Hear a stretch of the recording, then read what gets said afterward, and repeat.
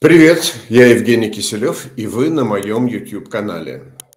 Начну сегодня с короткого видео.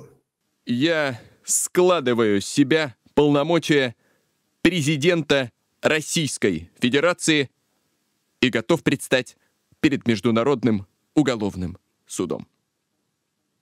Все политические заключенные будут освобождены. С Новым годом! Россия будет свободна.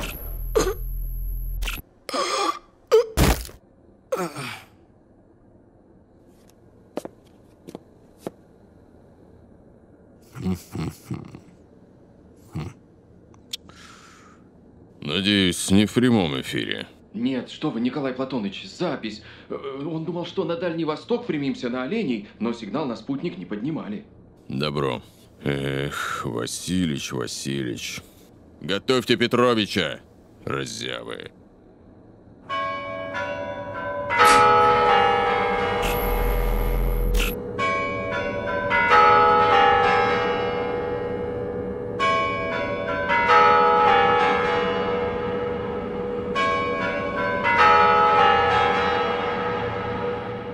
Это был фрагмент из предновогоднего выступления гутоперчивого двойника Владимира Путина в программе «Новые куклы». Целиком этот выпуск только на моем канале посмотрели 300 тысяч раз. Сегодня я покажу вам еще один выпуск, буквально через несколько минут. Но прежде, пожалуйста, поставьте лайк этому видео, чтобы его увидело как можно больше людей. И подпишитесь. Вон там внизу под видео есть кнопочка, нажмите на нее, заодно нажмите на колокольчик, чтобы вам приходили извещения о появлении на этом канале новых материалов. Ну, а теперь важное, на мой взгляд, предисловие ко всему, что я сейчас собираюсь э, вам рассказать и показать. Почему программа называется «Новые куклы»? Почему новые? Ну, зрителям постарше, я думаю, и так понятно, объяснять не нужно. Э, молодым людям, э, наверное, э, надо кое-что объяснить. В 90-е и начале 2000-х годов в России была такая знаменитая сатирическая передача. Выходила она на старом НТВ, когда этот телеканал был совсем другим, не то что сейчас, независимым от государства. На нем выходили программы высшего журналистского качества, такие как, например, «Глаз народа», «Намедни», «Герой дня» и многие другие, в том числе «Куклы», героями которых были гутоперчивые двойники всех ведущих российских политиков и чиновников того времени, от Ельцина и Путина до их помощников и даже охранников – Авторы кукол обсмеивали разные неловкие ситуации, которые попадали эти люди, их неуклюжие заявления и недальновидные поступки. Вокруг кукол вы не представляете, чего там только не происходило. Настолько это была э, заметная, популярная передача, которая кто-то, э, основная масса людей эту программу обожала, кто-то морщился, говорил, что ну, все-таки шутки иногда в этой программе э, низкопробные. Ну, а кое-кто и всерьез ненавидел. Дело даже доходило до того, что программу несколько раз пытались закрыть, один раз с участием Генеральной прокуратуры Российской Федерации. Анекдотическим образом против этих самых гутоперчивых кукол пытались возбудить уголовное дело. И Тогда премьер-министр Виктор Черномырдин э, даже вынужден был э, в один прекрасный день пригласить к себе своего резинового двойника и публично с ним в таком вот шутливом, примирительном э, тоне побеседовать, чтобы публика убедилась, у премьера Российской Федерации есть чувство юмора, и он, вопреки слухам, не имеет никакого отношения вот к этой самой нелепой истории с уголовным преследованием кукол. Э, отдельные фразы, которые сценаристы тогда вкладывали в уста своих резиновых персонажей, становились мемами. Э, молва начинала всерьез приписывать их реальным политикам, хотя, например, тогдашняя звезда э, российской политики, покойный генерал десантных войск Александр Лебедь, в жизни никому никогда не говорил «упал, отжался». И Ельцин тоже никогда не произносил культовую фразу «Во всем виноват Чубайс». Ельцин, кстати, куклы вроде бы терпел. Терпел много лет, в отличие от Путина. Особенно э, Путин был разгневан выпуском кукол, э, где авторы его весьма метко сравнили с персонажем сказки Гофмана про злобного карлика Крошку Цахиса. Когда между НТВ и Кремлем случился конфликт, тогдашний глава кремлевской администрации Волошин передал фактически ультиматум. Хотите уцелеть? Из программы «Куклы» должен исчезнуть Путин, а не то пеняйте на себя. Путин не исчез, и это НТВ в ряду прочих прегрешений не простили, телекомпанию разогнали, а куклы закрыли. Я уже говорил, что мне казалось, куклы повторить нельзя. Оказалось, что я ошибаюсь. Нашлись люди, которые решили таки их возродить. И рассказываю некоторые подробности, как это случилось. Все началось год назад в Таллине, где встретились трое журналистов, которые в начале 90-х как раз тогда, когда родились старые куклы, работали вместе в одной московской редакции, э, гремевшей тогда на всю страну. Теперь эти люди живут за границей. Я пока не могу, не вправе раскрывать их имена, но сами они про себя говорят примерно так. У нас, признаться, осталось мало общего. Разные страны, разный бизнес, разный путь за эти 30 лет после того, как мы покинули прежнюю профессию. Но Сохранилось чувство юмора и желание превратить его в оружие. Ведь диктаторы страшно боятся быть смешными. Они даже смерти боятся меньше.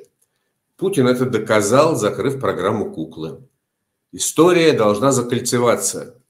Путин убил куклы, куклы убьют Путина.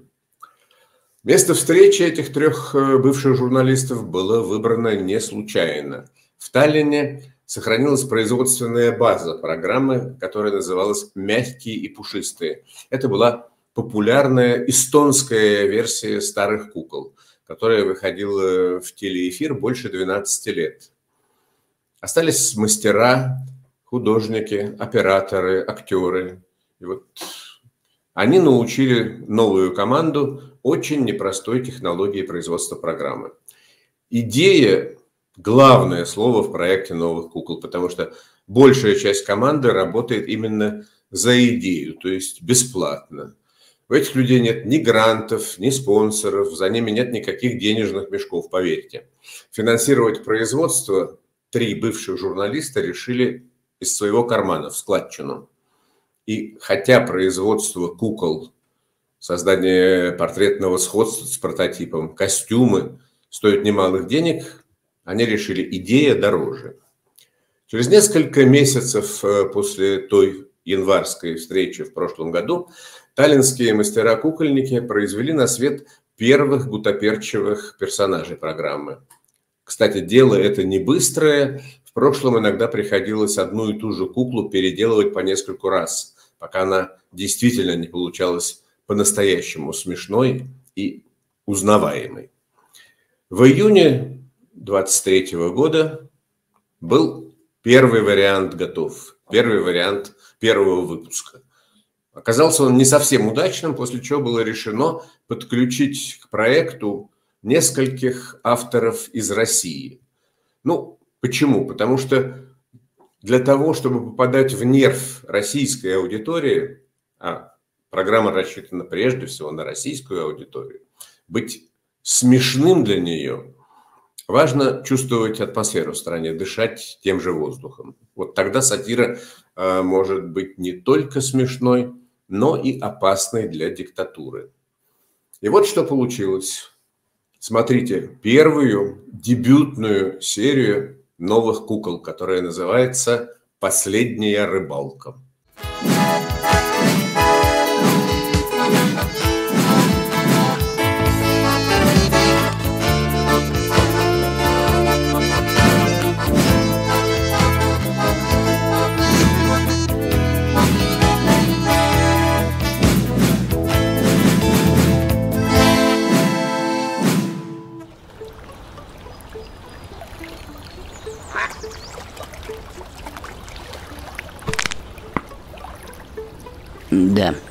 Хорошо сидим.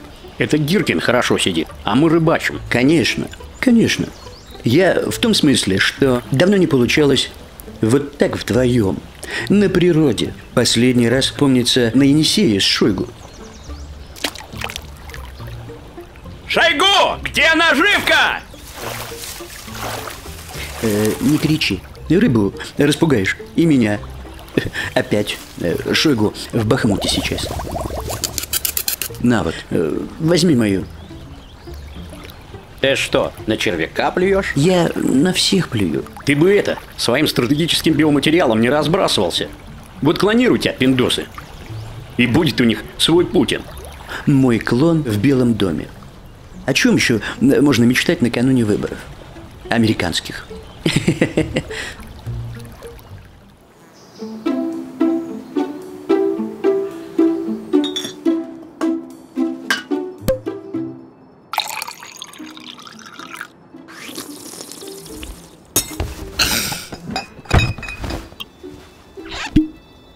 Уважаемые члены Совета Безопасности, товарищи, международная обстановка, наш ответ Чемберлену – господство. Господство.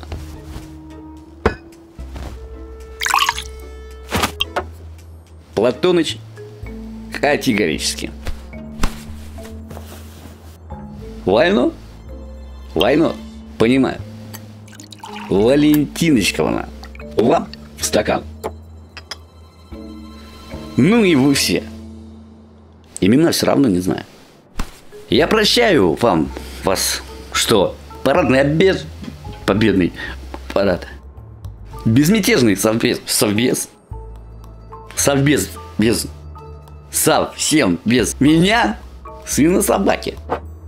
Стало наркоманы, дряхлые дегенераты, лживые твари, тупоголовые исполнители – сонные, маразматики. Ненавижу. Маленькие дети, ни за что на свете не ходите в Африку гулять. В Африке Пригожин прокуроры тоже в Африке страшные чернокожие. Будут вас сажать, бить и обижать. А ты чего в Африку на Брикс-то не поехал?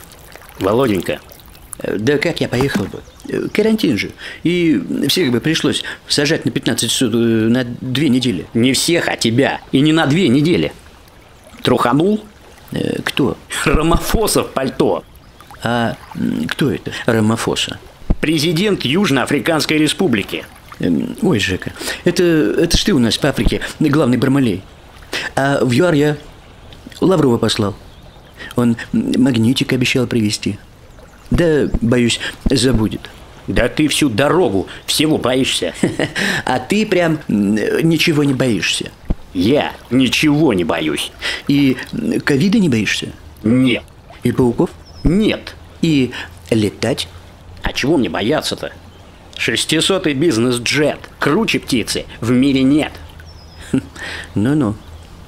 Если очень захотеть, можно в космос полететь чтобы стать еще одним лунным кратером. Э, щука, э, подчекай. Сука, помогай!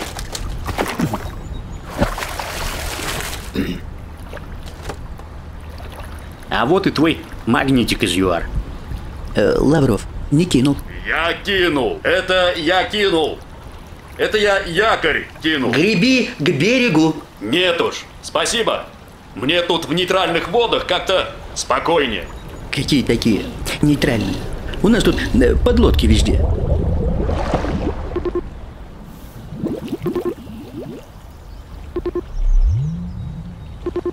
Русский военный корабль. Иди нахуй. Господи, прости. Как на интересах России в Африке скажется гибель э, Евгения Пригожина? Да откуда вы взялись-то? Блять. Ну, было же...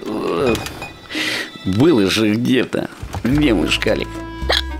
Мне его Касым Жумар Емельевич привозил. И главное, я могу это выговорить в отличие от некоторых. А шкалик найти не могу. Исчез. Куда пропал? А, вот ты где, моя прелесть.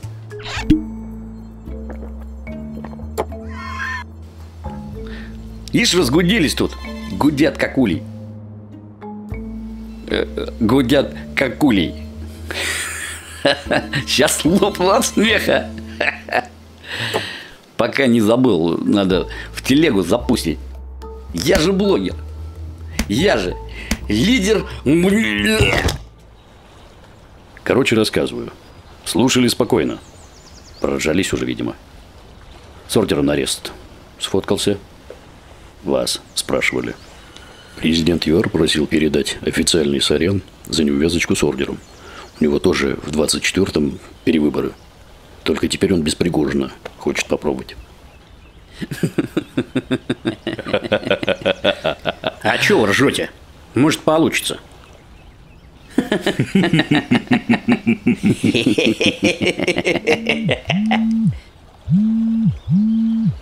Долбанный Сбербанк. Слушаю, Герман Оскарович. Владимир Владимирович, службой безопасности замечена подозрительная операция. Не подозрительная, а специальная. И не я ее начал. И кончил бы уже, если б мог. Ну, вот и где ФСБ? Почему они, э, когда надо, звонки не блокируют? Кто звонил? Да у Алины деньги кончились. Вот они с грифом и э, прикалываются. Шойгу, где деньги? Э, Да в Бахмуте он. В Бахмуте.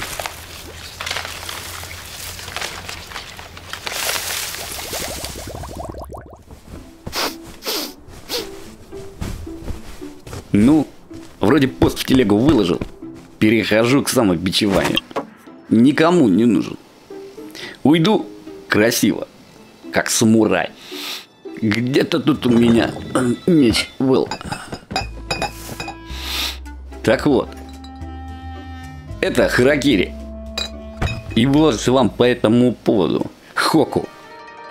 Ядерный пепел опадает лепестками сакуры.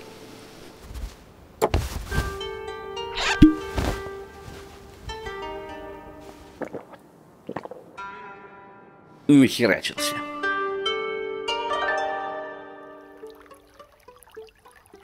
Теперь к делу. Была у них в ЮАР одна весьма перспективная история. Апартеид называется. Лишаешь большую часть населения гражданских прав, загоняешь их в резервацию.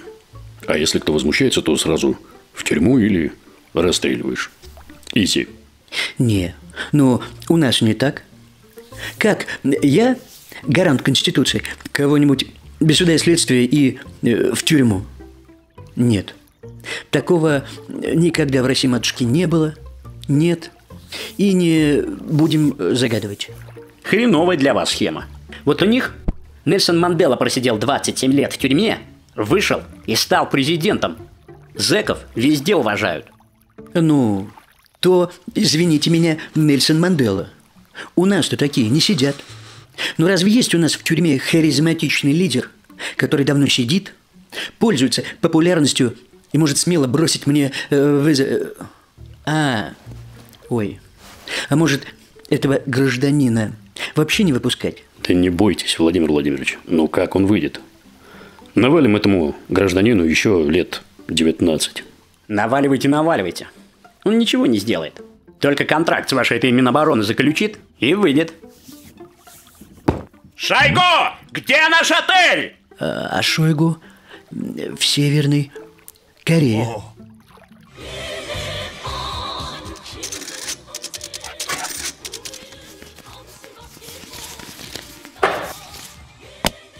Ух, слава богу. А то все Бахмут, да в Бахмут.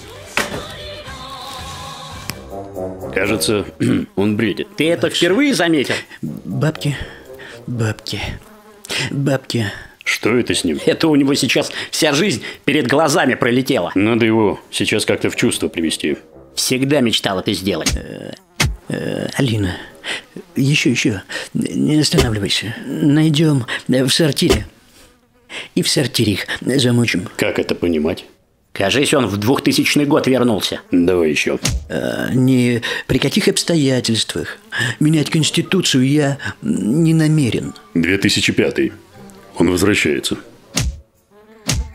Считаю, что нет необходимости повышения пенсионного возраста в Российской Федерации. А это в каком году было? Сложно сказать. Он это повторял с 2005 по 2017. Давай еще. Признать суверенитет Донецкой и Луганской народных республик. А сейчас посильнее, ёбни. Кувалдой, пожалуйста.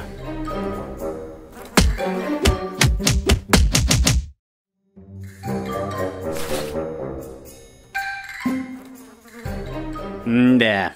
Вот бы уметь вовремя остановиться.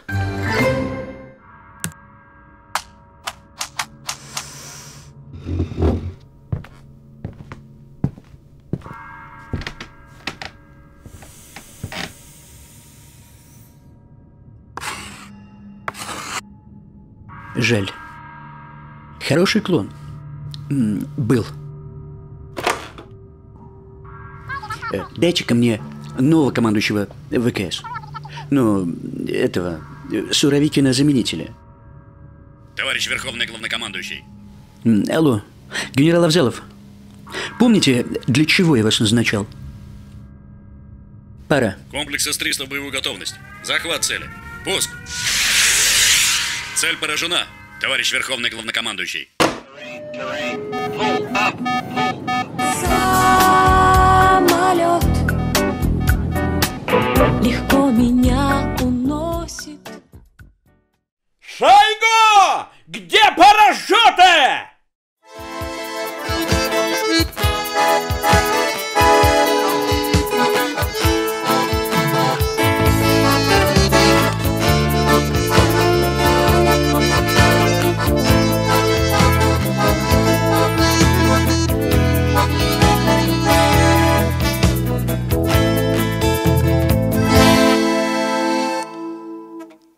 как вам?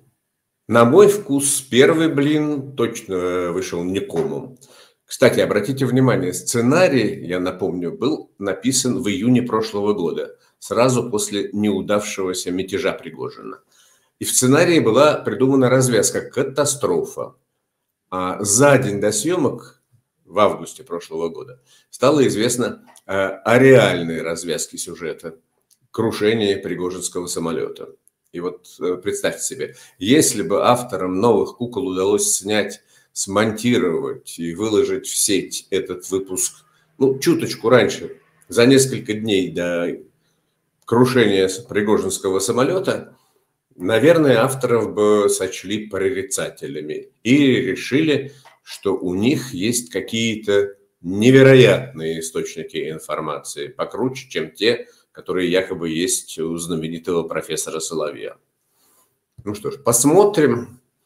Может быть, сбудется и какой-нибудь следующий прогноз новых кукол.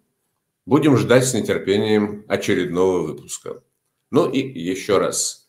Ставьте лайки, пишите комментарии, задавайте вопросы и не забывайте подписываться, если еще не подписались. До следующей встречи. Thank you.